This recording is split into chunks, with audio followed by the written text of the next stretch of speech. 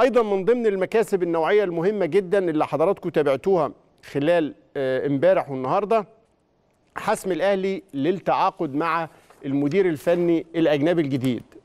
وهنا الأهلي رجع لطبيعة الأهلي.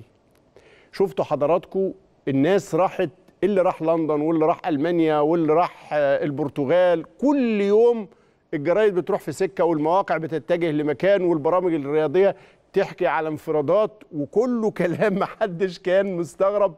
هو الأهلي ما بيتكلمش ليه؟ هو الأهلي بيفاوض مين؟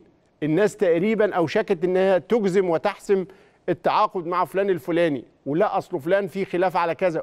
وقصص وروايات كتيرة جدا اتسلتوا بيها اليومين اللي فاتوا. حتى أعلن الأهلي على مدربه الاورجواياني مارتن لاسارتي اللي وصل بالفعل والنهارده عقد مؤتمر صحفي أكيد تابعتوه عبر شاشة قناة الأهلي على الهواء مباشرة من مقر النادي. وهنتعرض بالتفاصيل لما دار في هذا المؤتمر وإيه مؤشراته لاسارتي بهذه الكيفية وبهذه ال- ال- البصمة اللاتينية رايح بالأهلي على فين إن شاء الله؟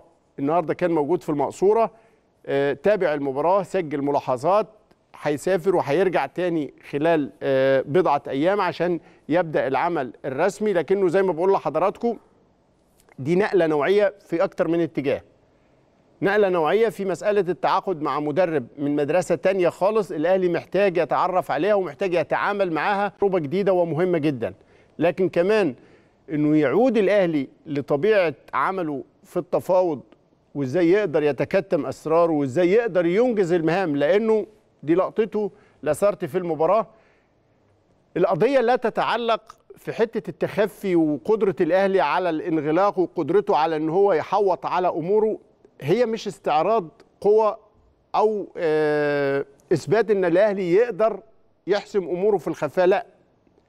هو باستمرار وأبدا دي طبيعة العمل.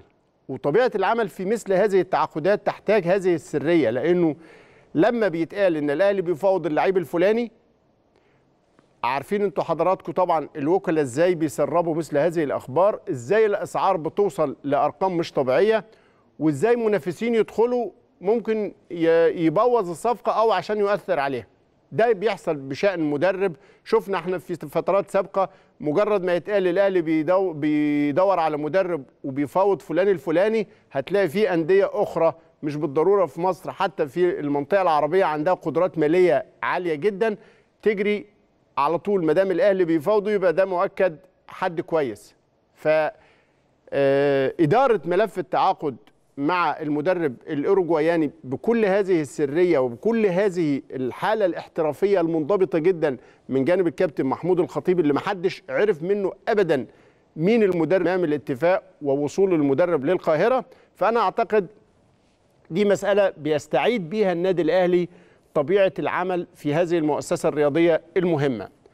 مؤتمر كان مهم هنتوقف عنده النهارده في أكتر من جانب علشان نقول لحضراتكم من خلال اللي قاله لاسارتي إيه المؤشرات بالظبط وإيه ملامح هذه المدرسة اللاتينية الجديدة في قيادة كرة القدم الأهلاوية اللي دايما وابدا النادي الأهلي وخليكم دايما فاكرين. الأهلي ما بيتعاقدش مع مدرب أجنبي آه علشان بس ياخد بطولة. لا علشان بيغير فكر كروي علشان بيضفي بصمة مفيدة للكرة المصرية عامة قبل ما تكون مفيدة للكرة الأهلاوية لوحدها